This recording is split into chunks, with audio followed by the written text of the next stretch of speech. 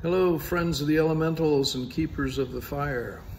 It's Tom Gingras, and I want to welcome you back to my site. Uh, and I'm hoping to cover some ground today uh, discussing the DHC 2000 Cobra torch uh, by Detroit Torches.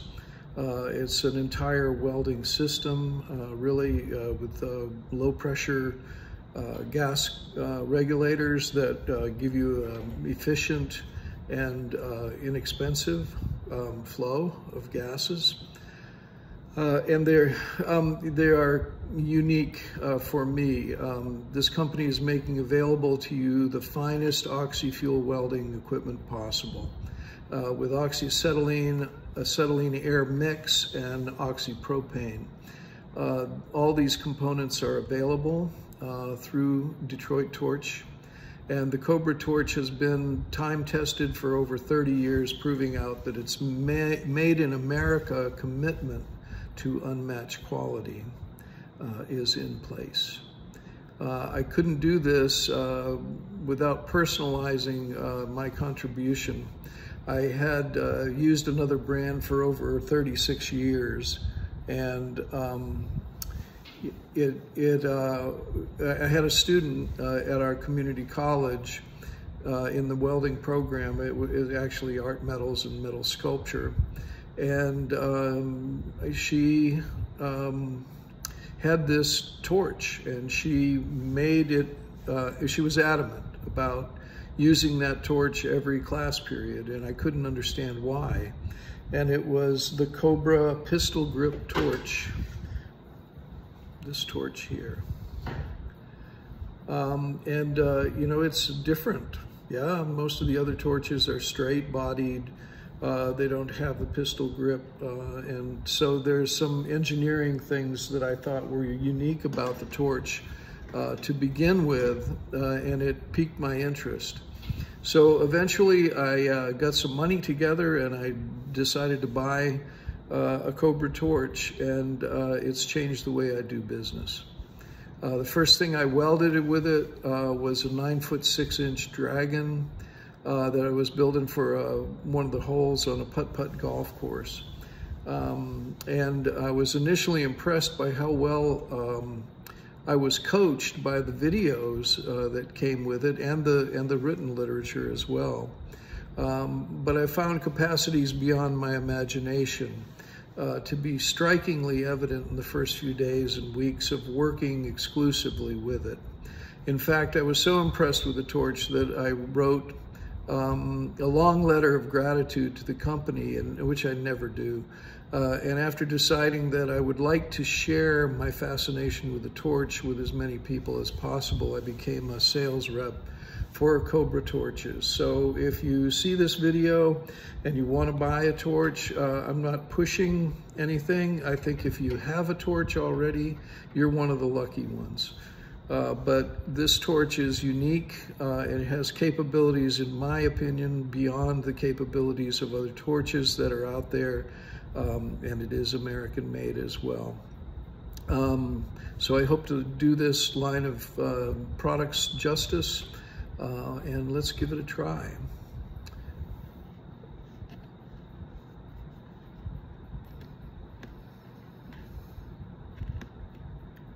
Okay, the first uh, advantages um, that I have perceived from the uh, from the literature, from the website. Uh, first of all, it is made in America, uh, and one of the things that I I think that needs to be implied with that is um, the idea about quality uh, in the product. And that's always been sort of an American uh, American product product um, stamp, if you will. Um, and I, I still want to believe that and tend to believe that. And I know that in the case of this torch, uh, after using it for many years now, uh, I have found nothing wrong with this torch. Okay, um, there's uh, expansive capabilities uh, with a comparable price. Uh, so, I mean, if you're shopping for a torch, uh, like I say, if you have one, great. But if you're shopping for a torch uh, please look at this torch carefully. Uh, and I would consider don't use the uh, high pressure industrial regulators. Um, I just got a phone call from a guy this last weekend that said that uh, he tried and tried to use this torch and all he had was those industrial high powered regulators, high, high pressure regulators, and the torch didn't perform well. And Cobra makes regulators that go right along with the torch, uh, small diameter hoses for greater efficiency. Um, and the whole thing is engineered to save you money and, and do great things for you. Okay, the sizes of uh, the tips go from tiny, tiny jewelry tips. Uh, I have one here. I don't know if you can see the size of that orifice without us getting too fuzzy, but it's very small. And in my opinion, it's smaller than the um, triple aught uh, tips for other torches. Um, and there are also large uh, diameter tips that are great for forging or for um, doing large heating. Uh, there's also uh, what's known as a rosebud tip. That's this guy here, multiple holes in the end. Um, this is a powerhouse. Uh, and you have to turn your gas pressure up high or the torch will pop and, you know, make everyone in the house upset because you're trying to blow up the house. Um, but uh, anyway, the the that's the that's there's another shorter barrel version of this um, uh, rosebud as well. Um, there's an ergonomic cast aluminum pistol grip torch body, uh, which I find to be well balanced. Um, I use I use mine in multiple positions. I might use it up here. You don't need the trigger unless you're cutting. I'll show you that in a minute. Um, I hold it back here a lot of times. Uh, this gets your hand further away from the heat um, and you know gives you a, a little bit greater freedom uh, to find your own comfort zone. Uh, I also use it this way and use it like a pencil, but um, it is obviously to my advantage uh, ergonomically um, when I hold the torch in that position. Okay, there's a mixing chamber just before the uh, Venturi styled uh, tip. When, when I say Venturi style, I mean that it's reduced. It's a conical uh, opening and it uh, goes down from a wider um, orifice to a, a, narrow orifice, which builds the uh, intensity of the pressure. Um, okay, uh, through the um, mix, the, the mixing creates greater efficiency. And um, therefore, you uh, use fewer consumables and you, um, I, am amazed at how quickly the metal gets heated up um, when I'm using this torch. Um, and uh, yeah, and that's a, there's a lot of savings in not only time, but in the amount of gas that you put into a project. Okay, um, you save over 50 to 70% uh, on the gases. That's awesome. I mean, that's huge. Um, if you have a project where you're using two or three tanks of uh, both oxygen and acetylene, uh, you are way down the road in terms of the savings uh, with this torch. Unique metric tips, uh, and the, the that's uh, yeah, it's uh, there's um, its own tip cleaner. You can't use standard tip cleaners on the torch, um, but uh, for me, the different tip sizing uh, is so efficient. Um, it, it, it, covers all bases for me, from, like I said, jewelry style right up to big forging and big heating. Um, so each tip size uh, has a greater range of possible heats. Uh, and that's something I'm throwing in on my own uh, pretty much. I, I noticed that um, I can dial in um, just by using increments of maybe two inches when I add the acetylene and then add the oxygen. I can, I can dial in a lot of different varieties of heat uh, with that as well as the oxidizing and carburizing flames if I need those. Um, there are two cutting attachments and a wheel set. Uh, one is for one inch thick material and the other one uh, is for thin material. This one here is for the thin material and it's called an undercutter. Uh, and let me show you this, get ready for this. Okay, this is the entire mechanism all set up. Uh, there, there's an arrow on the uh, button here. Uh, this is your cutting attachment. This is your cutting button. You turn it so that the arrow is down. Uh, that frees the button. You can feel it uh, change inside the torch, I mean inside the, um, the handle. Uh, and this one is a, the overcutter, and it is for cutting thicker material. Uh, the wheel set here, these guys uh, spin freely. They're metal. Uh, I can't really show you, I don't have anything flat to show you with, but I'll just let you hear it. And I can put a straight edge against the edge of this wheel and I can roll the torch along the wheel and this is far enough away from the wheel that if you're using a piece of flat stock or whatever, um, it's free from the heat so you don't get any warpage on it or weirdness with it. Um, you just press on through. When this is cutting, the torch tip, the cutting tip is pretty much laid right on the surface of the steel.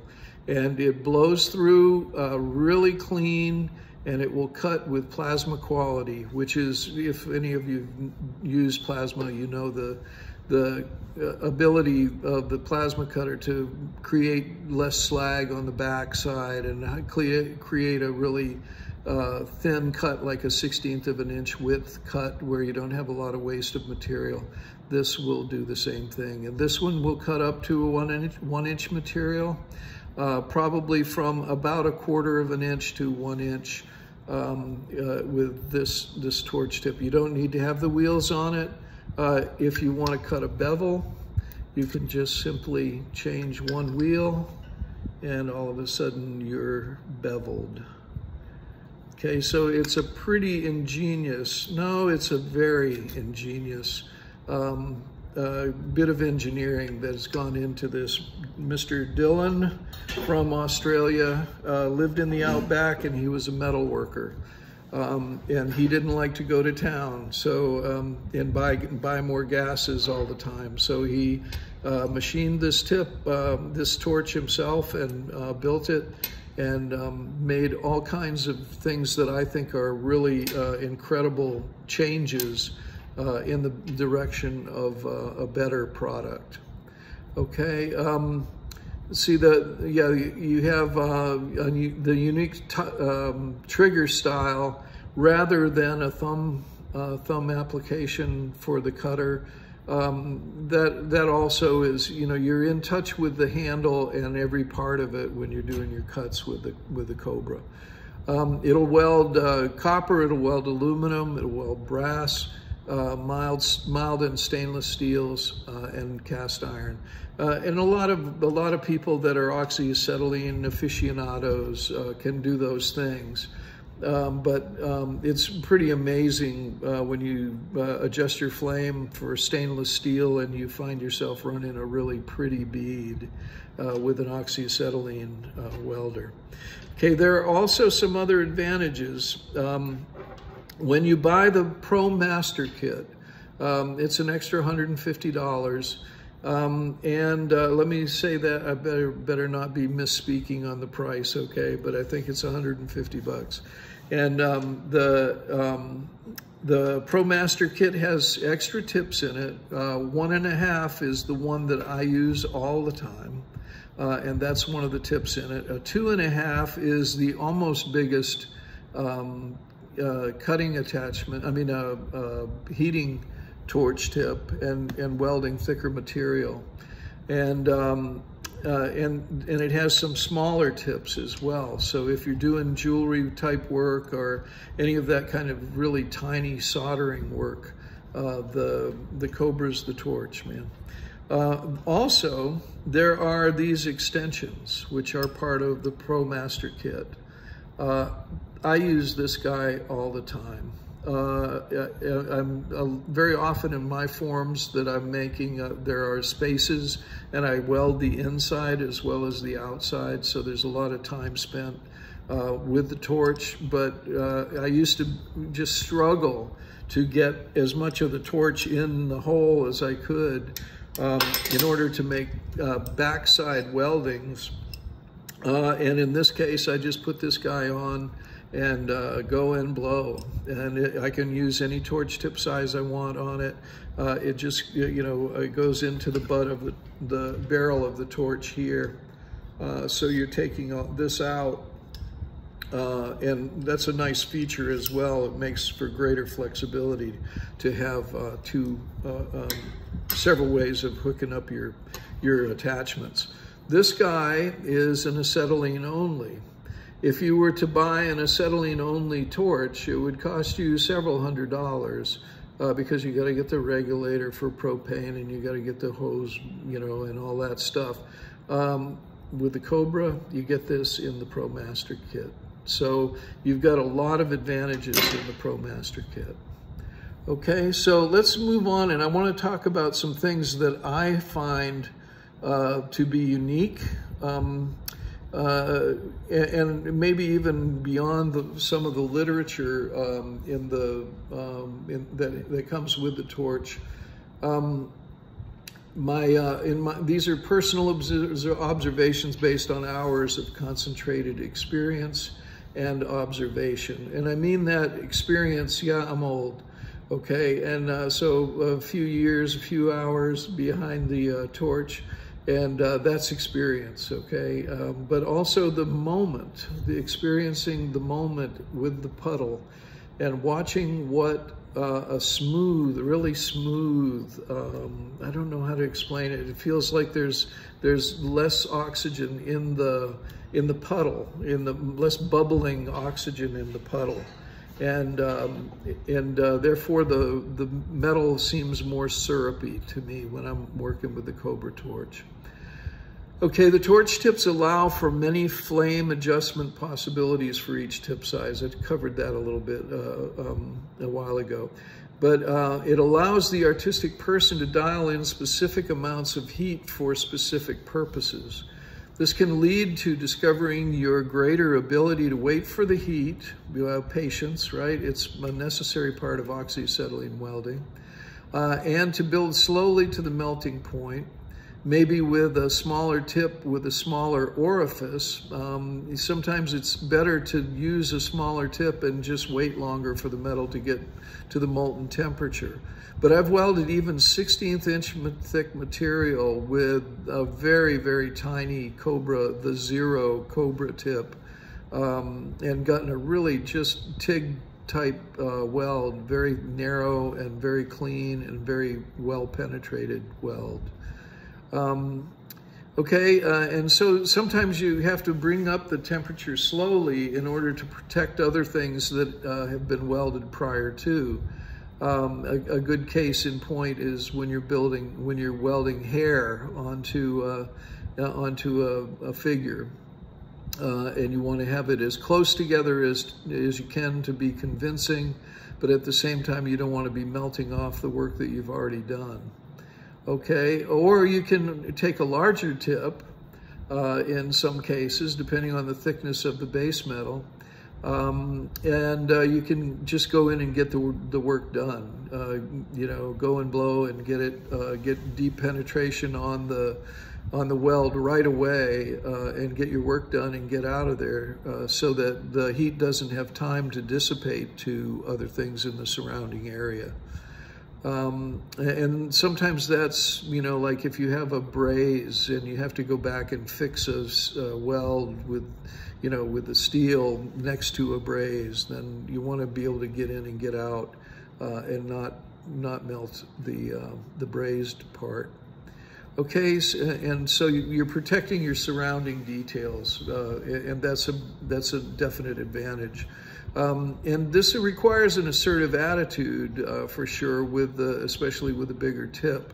Um, but uh, it's uh, definitely um, to have those options and to know that they exist um, is a real boon, I think.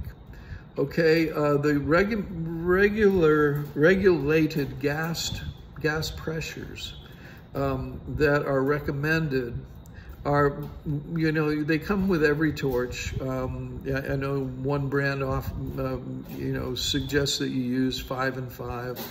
Uh, and I think the Cobra recommends that you use four and four. I personally um, use higher pressures, and I know that's more expensive, but I want to get the work done, and I want to be able to um, control the puddle.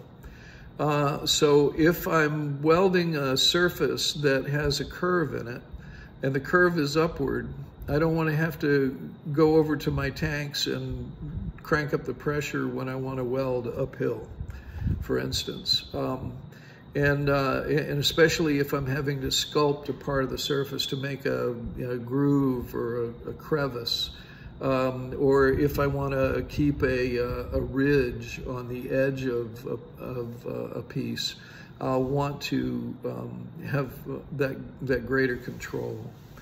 Okay, so uh, I, I, use seven pounds and 11 pounds on the oxygen. Uh, and like I said before, a one and a half tip is a godsend for me. It's the, it's, I don't know if it's the equivalent of any other torch tip out there, but uh, to me, it's the one that I use most in most of my work. I do a lot of stuff with quarter inch uh, round bar, 3 eighths round bar, half inch round bar, um, and you know some sheet uh, and uh, eighth inch thick uh, strap material. Okay, um, in other, so, so the uh, welded surface becomes the final texture in what I do. Uh, it's the contour, it's the indentation or bulging, uh, it's the general con conjunction um, based on the distance from the surface and the torch angle. Okay, and th those two things are, are the, you find out uh, as you advance, and it's not just about heat coming off of the weld flame uh, at the tip. You can also use uh, the edge of the flame, for instance. Some de details can even um, be accomplished that way. Um, and I can show you an example here.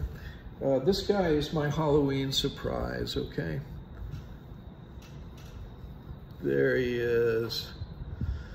Okay, and you can see the detail under under the eyes. Where am I? Uh, it's hard to do this in the mirror.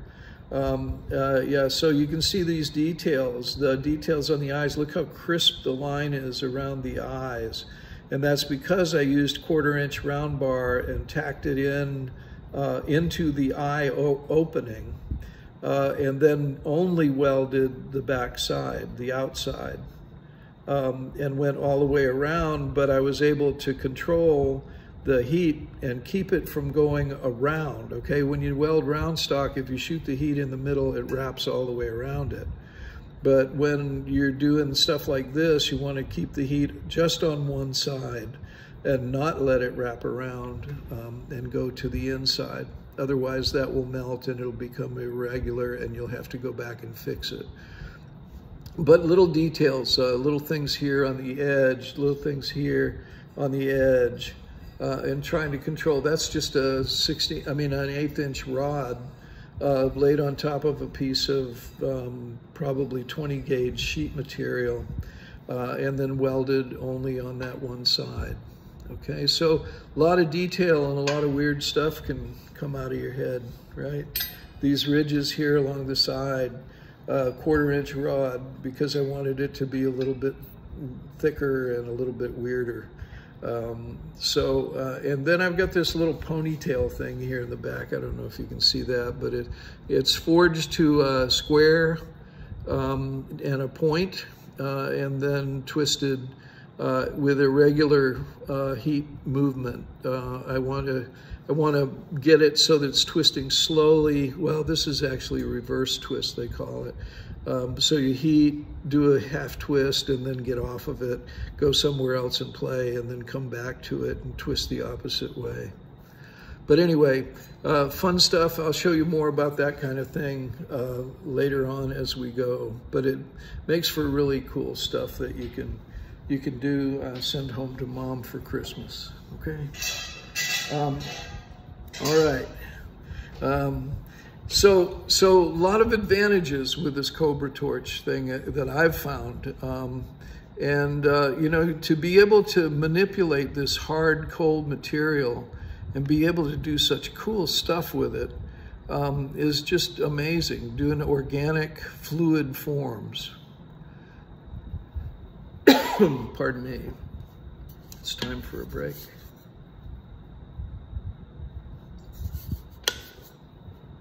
Okay, so um, in most of my work, the welded surface becomes the final texture, as I said before. Um, and uh, so lips and eyebrows and wrinkles and uh, gentle conjunctions uh, based on the distance of the flame from the surface uh, and the uh, torch angle. If I angle the torch at a greater angle, the heat's going to skim like a rock on the surface of a pond. Uh, and it'll be, um, it'll be colder. But if you use that and use it well, um, you can keep the temperature cool, uh, still get it molten by going straight down, but then change the angle on it and go right up against the edge of something that you want to maintain and, and um, you know, still have enough heat to do the weld, but uh, it, that skimming heat will be cooler and you'll have greater control, okay? Um, uh, so some, some details accomplished by using uh, the side of the flame uh, uh, and actually using the edge of the heat envelope. So that means if this was the flame, that means coming in like this to the edge. And that's how I do those details like the eyebrows on the weird guy. It's just by putting the heat right on the edge of the, of the material that I'm um, heating. Uh, and it works great uh, for detail control. Okay, um, the, the torch to me was wisely conceived and very, very, very well engineered. Um, and the, you know, the efficiency um, is, you know, a real boon when it comes to pragmatic metalworking, uh, and both in techniques and in application. I consider the ProMaster Pack to be an absolute necessity for the skilled craftsperson. Not only do you have available all the oxyacetylene tips, including the most importantly, uh, to me, including the most important one, the number one and a half, um, but you also have uh, those two eight, eight inch extensions, uh, the curved one, uh, this guy here can be used uh, for welding behind something. Like if you had a machine uh, that was costing thousands of dollars to the manufacturer and it was down and it had a broken part on the back side of the machine, you can actually weld with a mirror uh, behind or, or yeah, you probably braze if it was cast iron. Um, but you can do that work without having to unbolt the machine from the floor and have the forklift driver come over and pick it up and do all that stuff. Uh, so there's advantages to this, but I don't use this as much um, uh, uh as the other one by, by a long shot, but I, when I need it and I have it, it's great. Um, so yeah, keep in mind that those two uh, extensions are really, um, really important. Okay, let's see where what else I have to say here. Uh, I'm, I'm sorry if I'm too casual, pardon me, you know, I'm just not a suit. Uh, I don't do that, I don't do that well. All right, last little bit of information here. Um, there's also, uh, one of the, the other amazing things about the Cobra and, uh, and Detroit Torch uh, and their vision uh, is to make a complete set of propane uh, torch tips as well. Um, and I don't use those much, but I can tell you if you're working with uh, some materials that um, are, heat, let's say, heat sensitive, um, like stainless steel, um, it's uh, really good to not oxidize the stainless. So you want to use uh, lower temperatures, uh, but you might need a bigger torch tip to carry the heat that is required to bend that material. I don't know if that made sense, but yeah, you don't you don't um, necessarily have to uh, have a blasting flame, uh, or you especially don't want to have a blasting flame when you're working with stainless, and even uh, silicon bronze wants to be cleaned um, or clean when you're working with it. uh, copper will oxidize and you'll get uh, flaking on the surface, uh, for instance, when you use too much heat. So that's another um, plus to me um, in, in, all that we're seeing here. Um, I've worked on a piece before where I needed to have propane for my bending stuff um, prior to uh, prior to the welding, and uh, and the propane works great for that uh, as well. Okay, uh, and there's also MAPP gas, um, which a lot of welders use, but it's in, it's considered to be, welding with MAPP gas is considered to be uncontrollable, uh, in part because it's so hot. But, um, you know, I'm, uh, I never tried it with uh, the Cobra, but um, I'm tempted, okay? And uh, I might get around to it in the next 30 years. Okay, uh, for the blacksmith, um, yeah, who is legendarily cobbled to the forge, uh, you'll find greater freedom of expression through more controllable heat, specifically when dialing in a concentrated heat for forge welding or when uh, creating uh, unique textures and patterns uh, for twisted stock applications. Um, you may also practice welding beveled butt joints and square stock that will yield expertly welded square corners and uh, look almost like the original material without the MIG or TIG welded, overfilled and ground back, oops, too much look. Uh, that can only be sandblasted back to near uniformity. Uh, hand wrought is beautiful, okay? Uh, so if you can weld those corners back on square stock, and make it look square like it's supposed to look, uh, you've got a leg up. But if you're trying to, you know, MIG weld and do a blurby thing thing on there and then uh, grind it back, um, the chances of not getting it uh, getting it aligned are really great. Um, how do I know? In there. Okay, the expenses, uh, you know, you, you show up with a gate that you've done and you've worked so many hours on and you've got these places that are, you know, yeah, they're uneven. Uh, it's noticeable. Okay, the expense is competitive with the overall value and it's unmatched in this present marketplace. And I did mention that um, though designed by Mr. Dillon uh, many decades ago. This torch is made in Detroit by Detroit Torches and America making, in America, making them good for you. Okay, and I wanted to make my final point autobiographically. Uh, I'll, I've welded for over 50 years, taught community college, art metals and sculpture for over 30 um, and had used the name brand torch for 36 of those years. Uh, and the DHC changed the way I do business. Uh, um, on my first project, I was uh, welding a, um, a dragon. Uh, and I told you that earlier.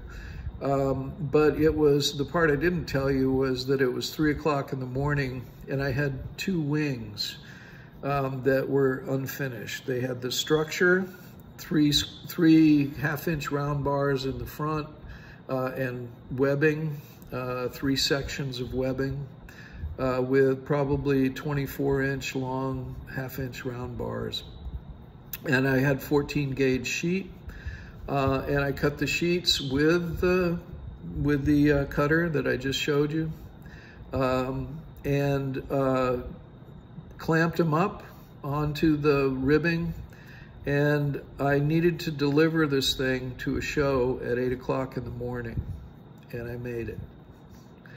Okay, and I was so blown away that I could just tack weld it in the, well, you don't want to tack weld too far ahead, but you can tack weld a couple of tacks um, and then start, uh, start your weld um, and what I saw at the end was that the heat ribbing, the color that comes off of the heat uh, that you've welded with, uh, the oxidation colors, they're like rainbows along the edge. Those were the same width all the way around the welds that I'd made. So it actually enhanced the beauty of the of the work that I'd done. Uh, and I was really taken back. So I, wrote, I welded probably 30 feet of, um, yeah, of uh, steel, uh, thin to thick, uh, and I have a video uh, with that name. Uh, and um, yeah, and it's, you know, it's an amazing piece of work. So um, I want to thank you um, for watching my videos, for tuning in. I want to uh, let you know that I'm uh, I am a sculptor. I do commission work. Um, I want to my my email address is tj torchart, and if I can figure out the video part of this, I'll overlay that on my on my video. Um, tjtorchart at gmail.com. Uh, let me know if you are interested in the torch or if you've enjoyed this video. Uh, please leave a comment, uh, and I'll. Uh, I would love to. I love to talk to people about good quality stuff, whether it's good quality workmanship, uh, good quality equipment, uh, good quality thought, and good quality feelings. because I think as human beings, we're here on the planet to learn to cultivate our goodness um, and to be compassionate and loving and caring for each other. Okay? And that's a higher pathway, okay? Hate and violence is easy. It's easy. The hard stuff is to be caring and loving. All right? So uh, I want to thank you explorers of the elementals and keepers of the fire. And please, uh, I'll be making some more videos. Um, I'm going to be doing a free workshop um, on uh, demystifying uh, welding and metalwork. And I'll be doing some classes online uh, as soon as I can find out where to land them. Okay? Uh, and that will be upcoming soon. I'm hoping by November 1st or November 10th or somewhere in there, I'll start offering some classes for you guys to sit in on, okay? Can you teach welding online? You can teach welding understanding online, okay? And that's my challenge and that's my mission. Thank you all for tuning in. Take care.